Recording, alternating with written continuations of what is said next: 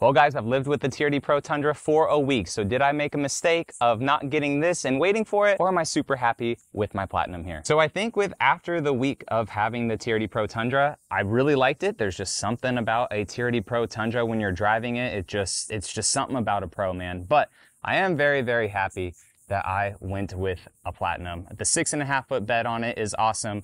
The iForce Max on this though, it was pretty nice to have that like low end torque, that good bit of power. But even though my Tundra's lifted on 37s, it moves very, very well. So if you're bouncing back and forth between an iForce Max or a normal iForce, don't worry because the normal iForce will move really well. And the biggest thing is this up under here. So I was looking around and someone wanted me to uh, show transferring all this stuff over here into the TRD Pro, right? So I have all the straps over there. I have the ball pin right there, but I figured that may not even be worth it because just coming over here to the TRD Pro, we literally don't have anything. So there's nothing under the TRD Pro at all for storage. And really our only storage is right here behind the seats. So if I was to do it and showcase it, I would just be putting straps just sitting on top the bottle jack.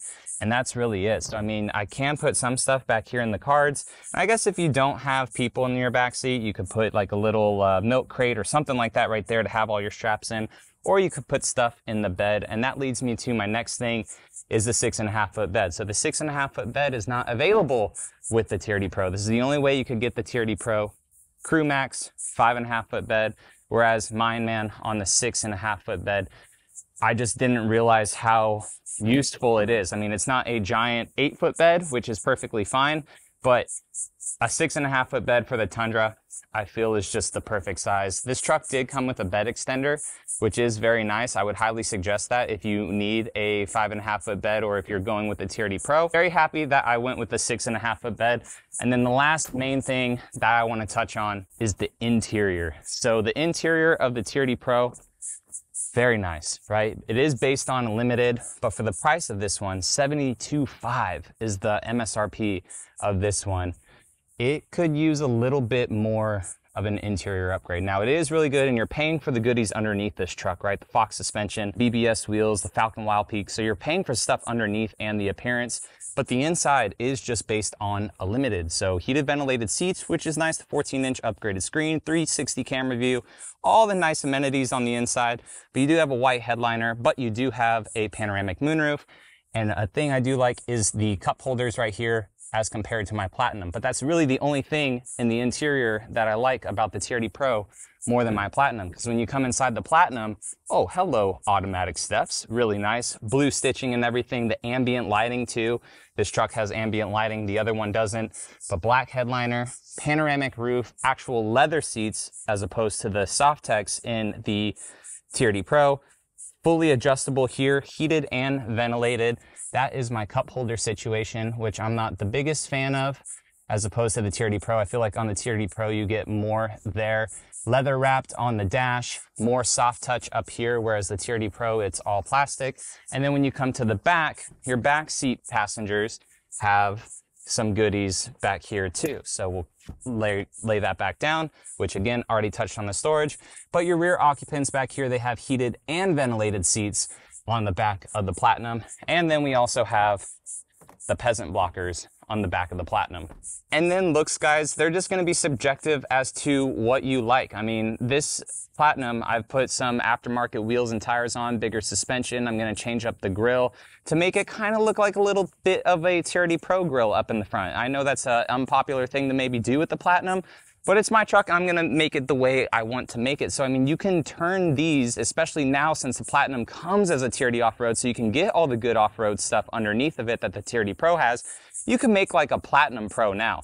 And honestly, they're going to be about the same price from Toyota as they would for this. So this Platinum, you know, even though it's a 2023 without the iForce Max, I was in it at about 64,000 after the discounts. This one, if I remember correctly, this one, you know, like I already said, is 72. So already a difference of eight grand. You do have the hybrid here, don't have the hybrid there, but even with the wheels, tires, and suspension, I think I'm still under a TRD Pro price and I get to custom make it however I want. But looks of the TRD Pro, you can't go wrong with it. All the technical camo, you do have the upgraded headlights with it, the light bar up front, the TRD Heritage grille, already touched on the BBS wheels, Fox suspension, but this truck, I'm gonna have the Dobinsons on it, Relations race wheels, 37 inch tires as opposed to 33s.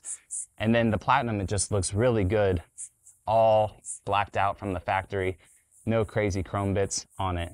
Let's talk about driving impressions. Well guys, we are back in the Platinum Tundra and some things to note real quick before the light turns green to tell you guys about iForce versus iForce Max. These seats in the Platinum significantly more comfortable than the Softex seats. I really enjoyed these seats in the Platinum. The leather, it feels good.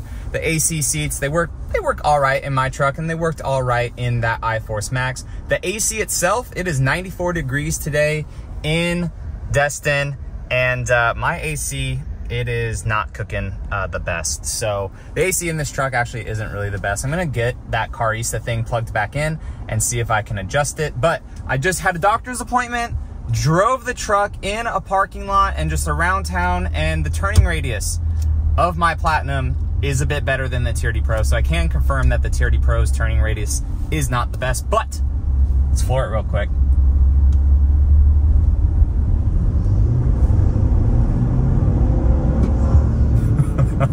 this this this truck is punchy, man. There, there is no reason to not like be upset with this normal iForce V6. There, there is no reason at all. Honestly, I 100U34 and me, we kind of like talked back and forth about this a little bit, like briefly over text. The normal iForce I feel is a bit punchier and like peppier than the normal iForce Max. And I we think like the reason for that is, is because the iForce Maxes are a little bit more um, heavy of vehicles, like with the extra components with the drivetrain, the extra electronic components, and the batteries themselves. So, I mean, my truck being on 37s, lifted, I just I just feel like it's very punchy for some reason. And I mean, just giving it a little bit of throttle, like the turbos, they just spool up real quick, throttle and it just it just it just carries perfectly fine and again this is lifted about three to four inches with 37 inch tires and this truck scoots now some things that i'm starting to notice with my truck and i'll talk about it a little bit more in other videos guys is uh, there are a little bit of annoying rattles that are starting to happen in my tundra the TRD Pro, that was super silent. Uh, it was great with wind noise. My truck too, it's pretty good with wind noise as well. Uh, but starting to have issues. Freaking window, man. But that is not what this video is about. The video is just me getting back into my Tundra, loving everything about it for the most part. The black headliner, the AC seats, the heated seats, the rear seats that are AC, uh, ventilated, heated, just the platinum interior. Uh, the only thing I don't care for, like I already touched on, is this area of the platinum, but when it's closed up, it does look nice and elegant. And my miles per gallon right now with my Tundra, I'm at 17.6 haven't reset it after I put 37s on this truck and it's just punchy. This truck is great. I am not upset at all that I did not get a TRD Pro, that I did not wait it out for a TRD Pro. I am perfectly content with this, especially when it comes to the six and a half foot bed.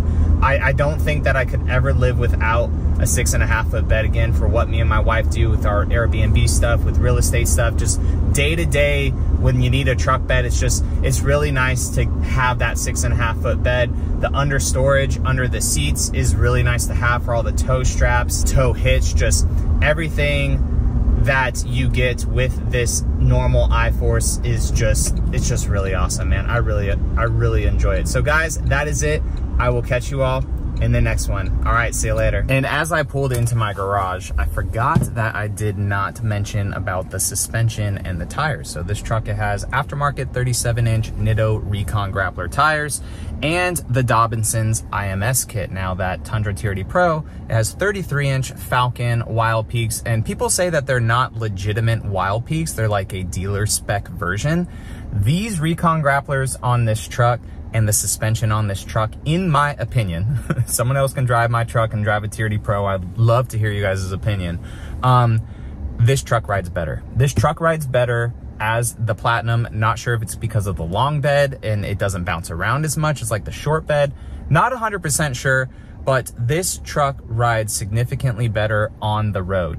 Now, I don't think that it's louder. Maybe these tires are just a little bit louder than the Falkens on the Tundra TRD Pro, but if, if like minimal, like at all. So the Dobinson's kit on this truck, it rides great. The Fox suspension is also plush on the Tundra TRD Pro, but I feel like this Dobinson's kit, it just rides so, so freaking good on this truck. And like, yes, you could tell that this is a lifted truck, but at the same time, like you don't really, you can't really tell when you're driving it that it's lifted this high and that it's on 37 inch tires.